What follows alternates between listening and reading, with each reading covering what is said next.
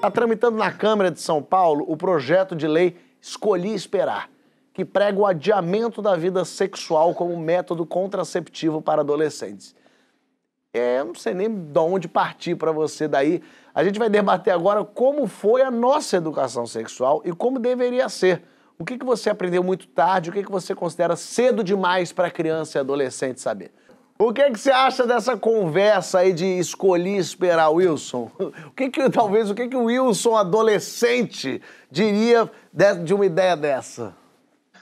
Eu acho que é uma ideia maravilhosa assim para o século XI, né? É. O século XXI talvez ela não esteja exatamente afinada com o tempo. Eu acho que a pergunta, quando eu vi esse projeto, eu já, já acompanhava aquela comunidade, eu, eu resolvi esperar, já tem alguns anos que tem que tem essa iniciativa, até conheci pessoas que faziam parte disso. E a pergunta é por que, que agora já havia movimento? Por que, que transformar isso em lei, não é?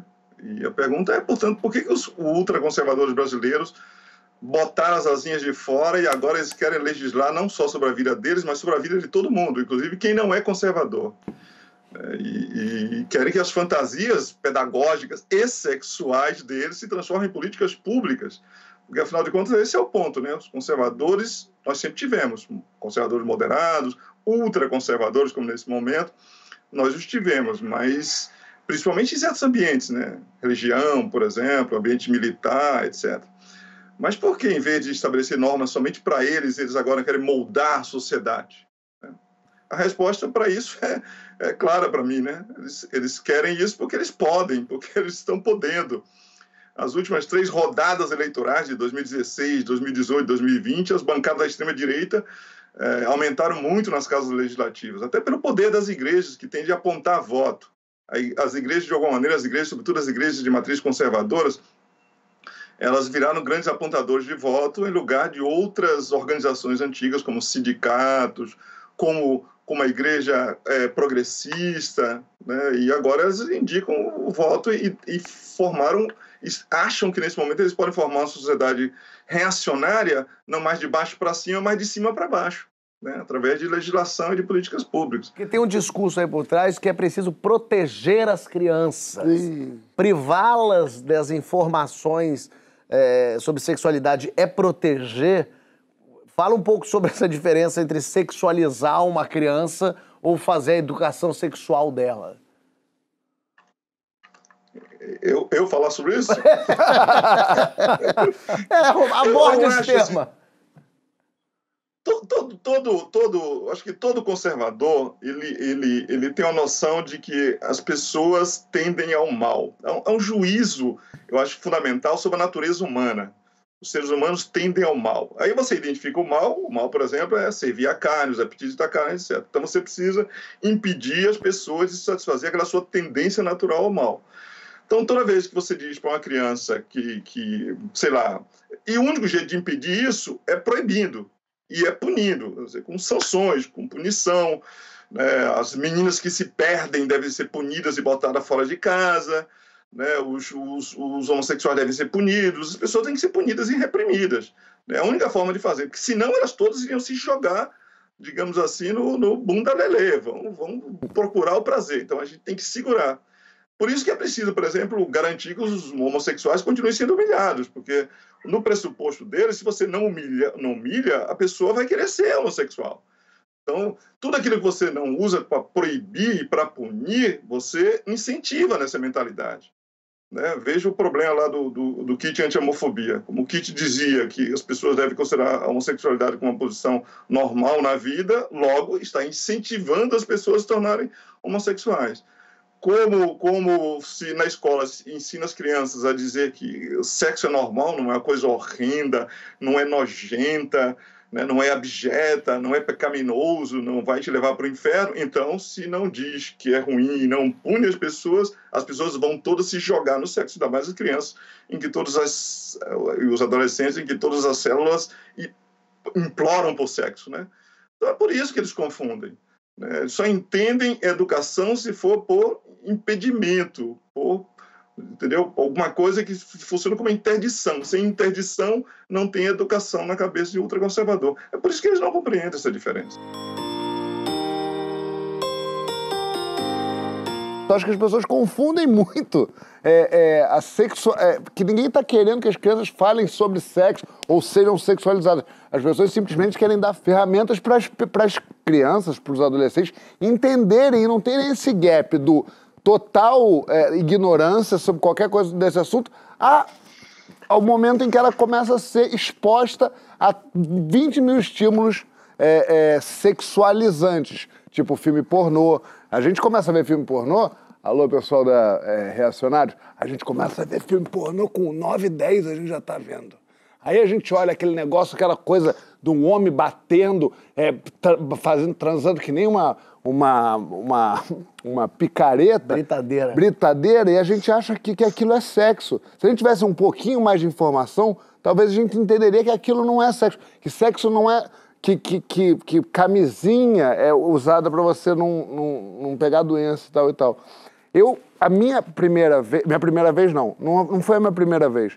Mas a, a, minha quase primeira vez foi uma situação super traumatizante. E eu acho que essas pessoas que ficam tão preocupadas com, com a sexualização das crianças são essas pessoas que fazem esse tipo de, de coisas que fizeram comigo. Que é você, por exemplo, pegar o garoto e levar para um puteiro. Ou dizer para a menina que ela não pode transar nunca. Então, eu tinha o pai de um amigo meu, que é um sujeito que eu adorava, adoro até hoje, não vejo há muito tempo, vou até falar o nome, mentira, é, que um dia chegou pra gente, eu tinha uns 14 anos, e disse, hoje vocês vão no puteiro. Meu pânico começou. Um desespero, porque eu não queria, eu não estava pronto. Eu, não, eu queria transar com uma menina que eu gostasse. Eu não queria transar porque eu tinha que transar. E ele pegou um funcionário dele, deu o dinheiro ao funcionário dele, botou quatro adolescentes no carro. Esse funcionário dele, por acaso, era polícia civil, então a gente poderia entrar é, clandestinamente nesse, nesse prostíbulo, nessa casa de prostituição. E eu me lembro de eu no, no carro pensando esse momento, e não era nada de, de de, de, romântico demais, era só porque eu não queria que esse momento não estava pronto, não sabia o que fazer, nunca ninguém tinha me dito nada, como é que fazia, como é que não fazia. Só tinha visto filme pornô e o boabronha.com eu acessava muito, que era um site que ia, que ia carregando aos poucos.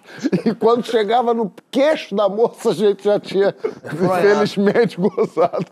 E aí, é, tudo que eu sabia sobre sexo. Fui para lá e a gente foi barrado, graças a Deus nessa, nesse, nesse lugar, nesse estabelecimento.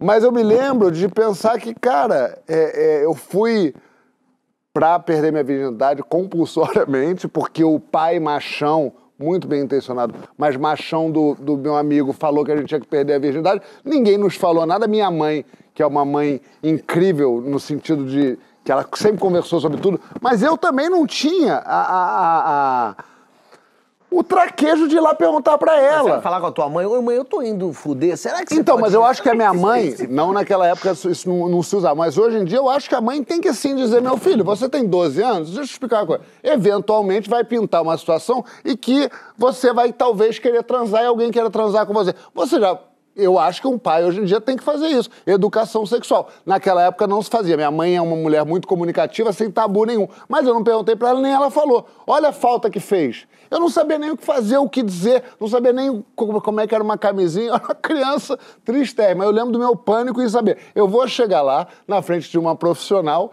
essa mulher vai chegar na minha frente, eu vou passar uma vergonha horrível, eu não sei nada, eu posso... Ah, hoje em dia eu penso, eu podia transar sem camisinha, eu nem sabia direito que, para que, que servia sem camisinha. Então, portanto, eu acho que esse negócio de educação sexual, minha gente, é bacana. A educação sexual foi esse papo foi sequestrado por essa guerra cultural que imediatamente joga um papo de pedofilia no meio de educação sexual como se fosse a mesma coisa. Não dá mais nem para conversar sobre isso? Creio que sim, Fábio. Creio que sim, de verdade. É... E aí vira uma guerra inútil, onde a gente começa a conversar de coisas que não são as prioridades nesse tipo de discussão, entendeu? Qual que é a nossa prioridade aí? Proteger as crianças, proteger os jovens desde muito cedo para que eles se aventurem pelo mundo do desejo de uma maneira segura. E para onde a discussão está indo? Para um lugar que é o extremo oposto disso, de, de silêncio, de, de, coisas obscuras. Sabe o que eu lembrei? Vocês não vão acreditar. Eu vendia hot dog no movimento Eu Escolhi Esperar. Ah, ah. Um objeto fálico. Você sabia? É verdade. Eu vendia hot dog lá porque era na Marcha para Jesus. Entendeu? A minha mãe tinha uma barraca de cachorro quente na Marcha para Jesus. E eu me lembro assim, né? Começa muito cedo, a gente tinha que chegar 3, 4 horas da manhã. E as pessoas passavam, começava a passar um, 10, 20, aí vai aumentando, porque ao longo, né, passava ali, sei lá, um milhão de pessoas passavam ali na luz do Mont Vilares aqui. E meu parceiro, as pessoas estavam com pressa, mano. Eu nunca vi tanta gente com pressa pra esperar, tá ligado? As pessoas, elas passavam, tinha mano que passava e falava assim, ó, me dá só salsicha, tá ligado? E a gente ficava puto, porque a gente tinha treinado como que montava o sanduíche inteiro e tinha que entregar só a salsicha pro cara, ele saía comendo a salsicha e corria. E o mais legal é que até mesmo lá no movimento que, que tinha que escolher esperar, tinha uma rapaziada que não aguentava esperar lá no miolo e ia pro lado mais escuro da luz do Mont Vilares ali lá pra cima com seus pessoal que tinham os afetos. Tinha essa parada lá, desde lá do miolo. Eu tava lá, eu vi esse bagulho. Agora, sabe uma outra coisa que eu pensei enquanto o João tava falando? Quando eu ia ser pai, a primeira vez, tava conversando com meu amigo Wagner, aí do Rio de Janeiro. Aí eu falei pro Wagner, e o Wagner recebeu a notícia de que ia ser pai também numa, num momento próximo do meu, assim, a gente foi pai na mesma época. Pela primeira vez os dois. Eu falei assim: esse mundo é horrível. Sabe o que eu vou ensinar pra minha filha? Só duas frases. Deixa eu ver se meu pai deixa e não. Aí o Wagner falou pra mim assim: Não faz um bagulho desse, mano. Não faz um bagulho desse, pelo amor de Deus, senão a sua filha vai aprender outras duas frases que são: Tá bom, mas meu pai não pode saber. Olha aí. Finalmente uma então, associação parceiro. positiva entre cariocas com Voyeur Emicida. É um momento inédito na questão veja, regionalista Chico desse Bosco, programa. Você veja que o farol da sanidade naquele momento foi meu amigo Wagner. Olha aí. Que nem é famoso por isso. Saca? É, o que eu acho incrível no momento que a gente está vivendo é o seguinte: a gente foi sequestrado por não só por um monte de lunático, cara, mas por um monte de lunático que tem tempo sobrando e não tem constrangimento de dar umas ideias furadas. Imagina, esses caras vão propor o quê para a segurança pública? O projeto Não Roubarás? Cê- você espera que o ladrão não roube, você não, não faz nada, entendeu? Tem um milhão de coisas que os jovens precisam nesse momento, mano. Tem jovem que tá sem emprego, jovem que tá sem comida, jovem que tá sem casa, jovem que tá sem escola, perdendo o ano letivo nessa situação de pandemia, jovem que tá sem acesso, jovem que tá sem vacina, entendeu? E a gente está preocupado, essa é a prioridade das pessoas que têm poder para construir políticas públicas que tirem o país desse abismo no qual o país se encontra, sabe? É, a gente tenta analisar isso aí de uma forma mais bem-humorada, mas é desesperador o lugar onde a gente tá. A gente tem que calmar o jogo, né? Botar a bola no chão para entender como reconstruir uma frase que meu amigo Chico Bosco dizia muito no começo: refundar esse solo comum e a partir daqui vislumbrar um horizonte de esperança para esse país de novo. Mas tem dia que é foda, mano. Quem, quem é leitor de Freud sabe que a sexualidade é um fenômeno infantil. E nem precisa ser leitor de Freud, assim, se você acessar as suas próprias memórias. É, Emicida costuma dizer que eu sou muito escorregadio e nunca falo da minha própria vida, né? Mas eu vou contar um breve incidente biográfico tragicômico. Eu devia ter um, já que, já que o João contou um maravilhoso aqui, é, eu devia ter uns oito, nove anos, sei lá. Eu estava com uns primos, priminhos meus de, de Belo Horizonte, vendo um futebol. E eu estava deitadinho no sofá. E sem que eu percebesse, eu estava fazendo um movimento de fricção genital no sofá, porque aquilo me dava prazer. E eu completamente inconsciente. Até que um primo meu, um pouquinho mais velho, virou e falou assim, alto e bom som: E lá o Chico não para de roçar o peru. E eu, eu falei, rapaz, o que está acontecendo? E era, evidentemente, uma manifestação de sexualidade infantil, antes de puberdade, antes da adolescência. Ou seja, aquilo tudo está acontecendo, não é fechando a janela que você vai evitar que a rua exista, né? Então, evidentemente que o único caminho possível é, é tornar o fenômeno da sexualidade o mais esclarecido possível, porque esse projeto ele deveria ser com mais forte razão chamado de eu escolhi que você vai esperar. Não é eu escolhi esperar. Se você escolheu esperar, isso seria um direito seu. Você pode escolher esperar quanto você quiser. Mas não é, é uma, é uma intervenção na vida dos outros e do ponto de vista é, pragmático, absolutamente contraproducente, porque só gera obscurantismo, né? Queria falar uma coisinha sobre essa, essa, essa relação das crianças com a sexualidade, que o Wilson estava falando também. O Wilson pegou da, da perspectiva do conservadorismo e, sobretudo, de, de matriz religiosa. Né? De um ponto de vista psicanalítico, eu, eu vejo isso da seguinte maneira: eu acho que tem também uma boa dose de narcisismo parental envolvido. A premissa é de que a, a, a sexualidade ela é impura. Né? Então, os pais querem adiar, já que não podem cancelar de todo, a sexualidade das crianças como uma forma de tentar evitar que as crianças tenham uma dimensão de autonomia nas suas vidas. Então você tenta infantilizar a criança, você tenta manter a criança num estado de inocência que no fundo só serve ao narcisismo parental, que é como se por meio da inocência infantil os pais se redimissem da própria sexualidade que eles consideram impura. Então, dizer, mais uma vez, as crianças que a princípio você estaria tentando proteger estão sendo instrumentalizadas pelo seu narcisismo que você mesmo ignora. Né? Eu nunca conversei com os meus pais sobre sexo, nunca, sempre com muita vergonha, ninguém veio falar comigo.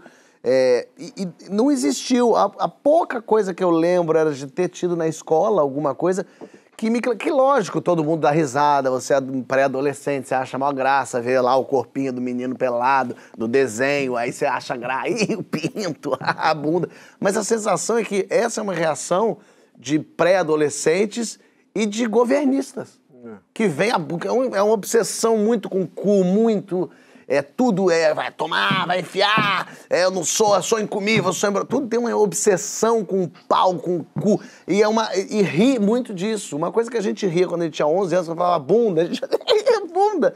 Eles fazem meio isso ainda. É, e a minha a, a, minha sensação que é o tal do kit gay, que essa invenção louca que que, que se estabeleceu, que o kit gay se, tinha que existir, mas para os pais. Os, porque as crianças lidam muito bem com isso. São os pais que não fazem a menor ideia de como lidar. É, por isso que é tão boa essa propaganda que a gente viu do, do Burger com essas crianças falando, explicando com filhos de, de, de, de, de pais, pai, pai, mãe, mãe, é, dizendo que se essas crianças sabem explicar, eu tenho certeza que você também vai saber explicar para o seu filho. Então é um... Eu acho que isso que você falou é, faz muito sentido, assim, o, o esses... Então, você falou políticos e tirando o acidente chamado Bolsonaro, mas assim, essas, esses adultos que, que têm essa obsessão, eu acho que são fruto também dessa gente que não falou sobre isso na infância que são, são pessoas que ainda, que ainda ao ver um, um, um aparelho reprodutor masculino ou um desenho dele, faz ainda assim. são peru, essa é a pepeca. São completos ignorantes, mas ignorância essa causada por uma por, um, por, por, essa sociedade cheia de tabu que tem com sexo, com não sei o quê. O professor Wilson falou que, tá, que não, não via um futuro muito promissor para isso, não. Você está sentindo que esses tabus têm cada vez, essas barreiras vão cada vez mais é, se estabelecer? Sim, porque eu acho que o, os conservadores que chegaram ao poder junto com o, a extrema-direita aqui, eles têm uma, uma concepção de que eles ganharam o direito de converter as pessoas. Então, não ganharam apenas o direito de governar né, com limites de outros poderes, etc., negociando é, políticas públicas que, que sejam no interesse de todos. Não, eles acham que ganharam um, um cetro, alguma coisa, uma varinha mágica, e a partir desse momento eles têm direito de transformar a sociedade. Então, por isso, essas preocupações todas, com o que se ensina nas escolas, né, com o que os artistas fazem, né, com, com, com os livros na Fundação Palmares, que vão modificar a mentalidade das pessoas. Né? A questão toda é essa: o que, o que é que os livros, o que é que os professores, o que é que a arte faz quando a gente não está controlando?